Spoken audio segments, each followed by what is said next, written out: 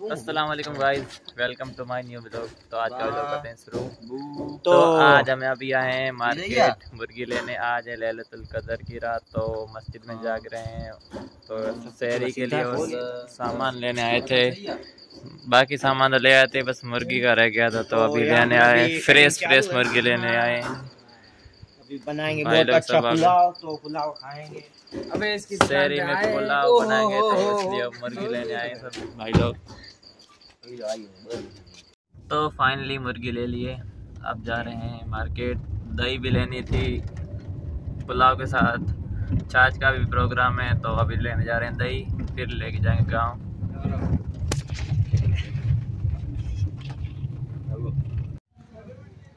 तो guys finally दही ले लिए। कुछ सामान लेना था तो शॉप खुली तो सामान ले लिया है। अब हम जा रहे हैं। सामने शॉप खुली थी तो कॉल आया था कि सामान लेके आना। तो अब जा रहे हैं। तो सामान लेने के बाद सब भाइयों का मन था चाय पीने का तो चाय नहीं मिली, दुकान सब बंद थी चाय की तो ये कोल्ड ड्रिंक नींबू पानी ले आए तो अब इसमें ही थोड़ा टाइम पास करेंगे। तो फाइनली मस्जिद में पहुँच चुके हैं। प्याज छील लिया था कटिंग भी कर लिया है। अब बस पुलाव बनाने की देर है ये सब बैठे हैं।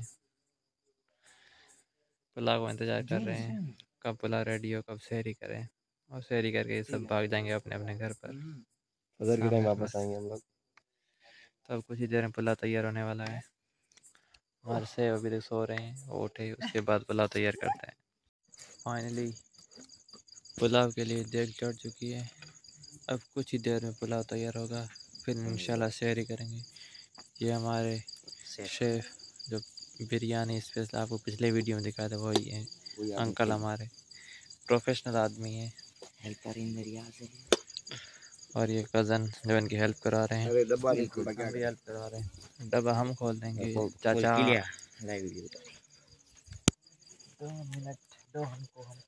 तो अमीर यहाँ पर घी का डब्बा खोलते हो क्योंकि अमीर से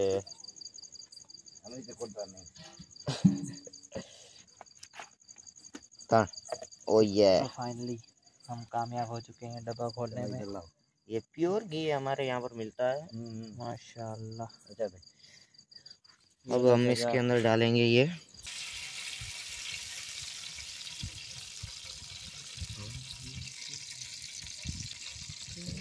प्योर देसी घी जाएगा इसके अंदर प्याज प्याज ला रहे हैं फिर डालते हैं इसके अंदर। तो आगे की अपडेट पुलाव बनने के बाद अब इंतज़ार हो रहा पुलाव का कब बने फिर तैयारी करते हैं इंशाल्लाह ये पूरी तरह से गर्म हो चुका है। सामने मस्जिद कुछ कज़न लोग वहाँ बैठे हैं। हम अंकल की मदद करवा रहे हैं। 2000 years later तो फाइनली पुलाव तैयार हो चुका है। दम पे रखा था आधा घंटा पहले अब दम भी आ चुका है। माशाल्लाह। अच्छी खुशबू आ रही है। इंतज़ार हो रहा है कि कब सर और सब कब सैरी करें हम सब। ये हमारे सेफ़ के लड़के हैं। काफ़ी देर इंतज़ार करने के बाद फाइनली अल्हम्दुलिल्लाह, रमज़ान की सत्ताईसवीं शहरी, सब कदर की शहरी, कर ली अल्हम्दुलिल्लाह। अभी मस्जिद फजर की नमाज़ अदा करके कर जा रहे हैं। सभी भाई लोग जो गाँव में, गाँव से आए थे मस्जिद में शहरी करने, वो भी अपने अपने घर के हैं। हम भी जा रहे हैं। अभी आ रही है नींद तो अब घर जाके आराम करेंगे। तो सुबह घर जाते ही नींद आ गई थी। बारह बजे के आसपास उठा था, फिर स्नान किया, अभी नमाज़ का टाइम हो गया था तो अभी मस्जिद में नमाज़ अदा करने आ गए थे। अभी जा रहे हैं कज़न घर पर। आज उनकी इफ्तार पार्टी है तो उनका कॉल है तो अभी वहीं जा रहे हैं हम। रमज़ान की साते बढ़ाती है अल।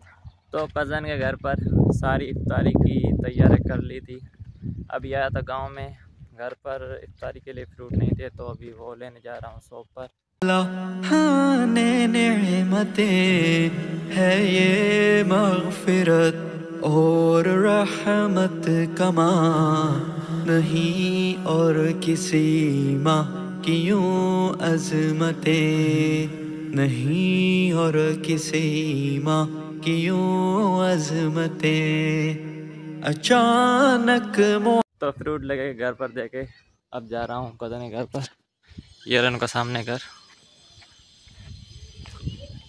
तो हम आ चुके हैं मस्जिद में। अब यहाँ पे करेंगे इफ्तारी। अब कुछ ही देर बची इफ्तारी में। फिर इफ्तारी करते हैं इन तर फिजा हो गई मुखालिफ हवा। अल्हम्दुलिल्लाह इफ्तारी कर ली है। अब जा रहे हैं घर। कज़न के वहाँ खाना खाने। बाकी मेहमान तो सब फ्री हो गए अब बस घर के ही बचे हैं। तो खाना खा के तरावी पढ़ के अभी आए घर पर। तो आज का वीडियो यहीं पर खत्म करते हैं। वीडियो पसंद आए लाइक कर देना चैनल को सब्सक्राइब कर देना और ज़्यादा से ज़्यादा शेयर कर देना। अब नींद भी आ रही है। काफ़ी टाइम हो गया है।